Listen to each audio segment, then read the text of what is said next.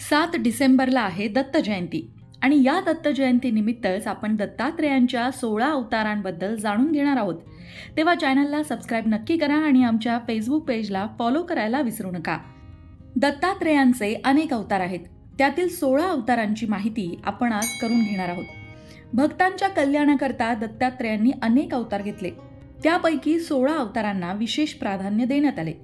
विविध मुहूर्तांवर विविध महिन्यांमध्ये हे दत्त अवतार झाले. आणि या प्रत्येक दत्त अवताराचे नावसुद्धा वेगवेगळे आहे त्यामध्ये सगळ्यात पहिला अवतार म्हणजे योगीराज अवतार. अत्री ऋषी अनुसूयेसह हिमालयात तपश्चर्या करत असताना अत्रींच्या तपश्चर्येवर प्रसन्न होऊन भगवंतांनी त्यांना आशीर्वाद दिला. हाच तो योगीराज अवतार. हा अवतार एकमुखी आणि विष्णूसारखाच दिसणारा अवतार होता. लोकांचे जीवन योगमार्गाने सुखी केले म्हणून या अवताराला योगीराज अवतार म्हटलं गेलं. त्यानंतर अत्री वरद अवतार. अत्री ऋषींनी भूक तहान विसरून शंभर वर्ष एका पायावर उभं राहून ऋथ पर्वतावर कठोर तप केलं. त्यांनी पुत्रप्राप्तीची अभिलाषा बाळगली आणि त्यांना आशीर्वाद देण्यासाठी ब्रह्मा विष्णू महेश अवतरले. आपण एकाचेच ध्यान करत असताना तीन देव कसे प्रकटले हा विचार अत्री करू लागले. तेव्हा भगवंत आम्ही तिघे एकच आहोत असं त्यांना म्हणाले. हाच तो अत्री वरदा अवतार होय. हा अवतार सहा हातांचा तेजस्वी आणि हसतमुख होता. तिसरा अवतार म्हणजे दत्तात्रेय अवतार. अत्री ऋषींना देवांनी आशीर्वाद मागण्यास सांगितला तेव्हा तुमच्यासारखाच पुत्र मला हवा असा वर अत्रींनी मागितला. आणि देवांच्या आशीर्वादाने बालरूपात दत्त अवतरले. हाच दत्तगुरूंचा दत्तात्रेय नामक तिसरा अवतार. त्यानंतर झाला कालाग्नी शमन अवतार. दत्तात्रेय अवतारानंतर आपल्याला पुन्हा पुत्र व्हावा म्हणून अत्री ऋषी पुन्हा उग्र तप करू लागले आणि त्यांच्या शरीरात कालाग्नी प्रकटला आणि अंगाचा दाह सुरू झाला. तेव्हा त्या दाहास शांत करण्यासाठी साक्षात भगवंत प्रकटले आणि भगवंताचे ते रूप शीतल होते. हेच ते कालाग्निशमन अवतार होय. त्यानंतर योगीजन वल्लभ अवतार. कालाग्निशमन अवतार प्रकटल्यावर या अवताराचे दर्शन घेण्यास देव ऋषी गंधर्व यक्ष किन्नर जमा झाले आणि दत्तात्रेयांनी बालरूप सोडून योगीजनांना प्रिय असे रूप धारण केले. हाच तो योगीजन वल्लभ अवतार होय. त्यानंतर लीला विश्वंभर अवतार. लोककल्याणार्थ दत्तगुरूंनी लीला विश्वंभर नामक अवतार घेतला. त्यावेळी लोकांची अन्नान्न दशा झाली होती. राज्यकर्ते फसवत होते लुबाडत होते. जनता हैराण झाली होती. त्यामुळे दत्तात्रेयांनी हा लीला विश्वंभर अवतार घेतला. लोकांच्या कल्याणासाठी. त्यानंतर सातवा अवतार होता सिद्धराज अवतार.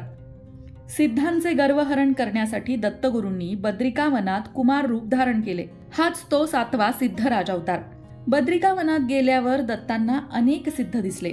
त्यांचे गर्वहरण करण्यासाठी अनेक चमत्कार करून या सिद्धांना योग दीक्षा श्री दत्तांनी दिली. आणि हाच होता तो सिद्धराज अवतार. त्यानंतर आठवा अवतार झाला ज्ञानसागर अवतार. फाल्गुन शुद्ध दशमी या तिथीला दत्तात्रेयांनी ज्ञानसागर अवतार धारण केला. हा श्रीगुरु दत्तांचा आठवा अवतार होता.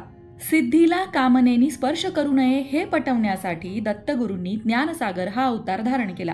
त्यानंतर नववा अवतार विश्वंभरावधूत अवतार. योगीजनांना द्राम. या बीजाक्षर मंत्राचा उपदेश देण्यासाठी श्री दत्तांनी विश्वंभरावधूत हा अवतार धारण केला. त्यानंतर दहावा अवतार घेतला मायामुक्तावधूत अवतार.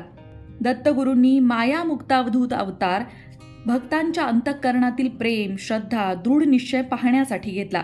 त्यानंतर अकरावा अवतार घेतला मायायुक्त अवधूत अवतार. यामध्ये श्री दत्तगुरूंच्या मांडीवर एक सुंदर योग माया आहे. दत्तगुरूंनी बारावा अवतार धारण केला आदिगुरु अवतार. मदालसेचा पुत्र अलर्क याला योग आणि तत्वज्ञानाची शिकवण आणि उपदेश देण्यासाठी आदिगुरु हा अवतार धारण करण्यात आला. त्यानंतर शिवरूप अवतार. श्रावण शुद्ध अष्टमीला दत्तगुरूंनी शिवरूप हा अवतार घेतला.